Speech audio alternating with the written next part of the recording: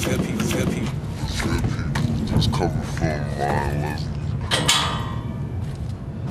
You know, this dude missed off the line, obviously. He got the shape. on, and it's nighttime. So, what up, man? Just wrapped up a session. You know, got a few big plans We'll discuss it.